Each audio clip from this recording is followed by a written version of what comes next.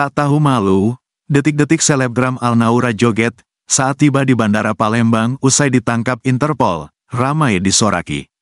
Selebgram Alnaura Karima Pramesti tiba di Bandara SMB2, Palembang setelah berhasil ditangkap polisi terkait kasus penipuan investasi bodong, Sabtu, tanggal 26 Oktober tahun 2024.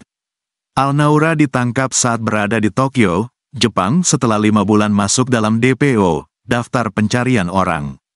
Alnaura dijemput oleh petugas Kejaksaan Negeri Kota Palembang. Setibanya di Bandara Sultan Mahmud Badarudin II, Alnaura yang mengenakan masker hingga kacamata menutupi wajahnya terlihat percaya diri berjoget saat digiring petugas.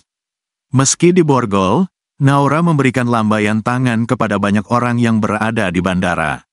Sontak momen tersebut ramai disoraki banyak orang yang diduga korban penipuan Al-Naura. Hu, Naura Zolim, teriak korban Al-Naura. Naura matilah kau, teriak yang lain.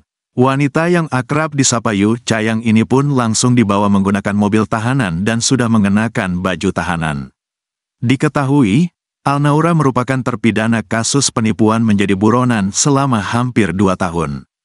Kasus yang menjerat Al-Naura kala itu adalah investasi bodong dengan korbannya yang berjumlah lebih dari 20 orang.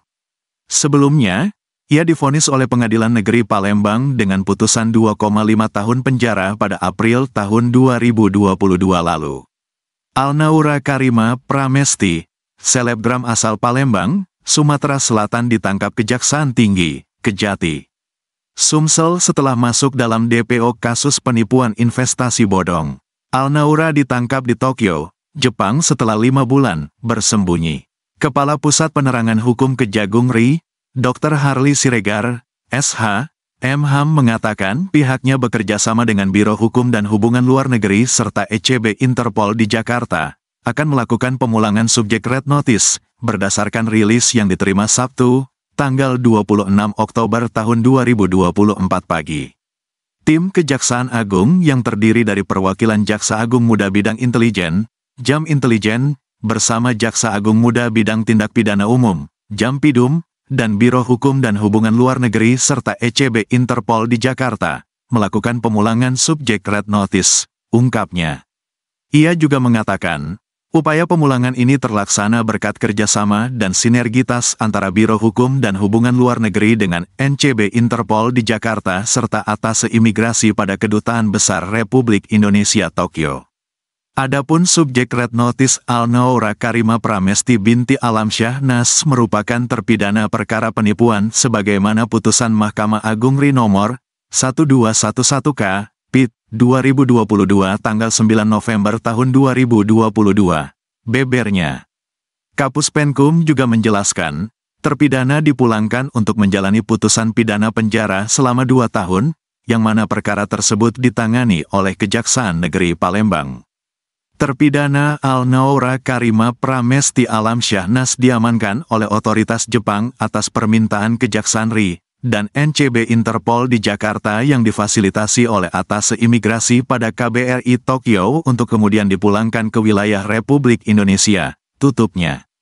Selanjutnya, Terpidana Al-Naura Karima Pramesti Alam Syahnas diserahkan kepada tim intelijen Kejaksaan Agung untuk kemudian dilakukan eksekusi sesuai putusan Mahkamah Agung RI nomor 1211K, PIT, 2022 tanggal 9 November tahun 2022. Dalam konferensi pers, Al-Naura mengaku telah tinggal di Jepang selama lima bulan di prefektur Ibaraki. Ia dipidana dua tahun penjara karena melanggar pasal 372 sampai 378 Kitab Undang-Undang Hukum Pidana, KUHP, tentang penipuan dan penggelapan. Catatan Kompas, Al-Naura bukanlah kali ini saja terlibat dalam kasus penipuan. Ia adalah seorang residivis yang pernah dipidana selama empat bulan pada 2017 atas kasus penggelapan uang arisan online. Al-Naura dikabarkan pernah terlacak di Thailand saat jadi DPO. Hal ini diketahui setelah Al-Naura melakukan live Instagram dan menceritakan bahwa dirinya didatangi oleh sejumlah yang diduganya petugas kejaksaan dan KBRI. Kata Al-Naura, ada sebanyak delapan orang yang mendatangi tempat tinggalnya di negara Thailand pada Jumat, tanggal 8 April tahun 2023. Al-Naura mengatakan gerombolan orang tersebut mulanya mengaku sebagai orang dari KBRI dan hendak membawanya kembali ke Indonesia. Orang-orang itu terdiri dari enam orang pria dan dua wanita. Dia menyebut orang-orang tersebut datang sekitar pukul 12 siang waktu setempat.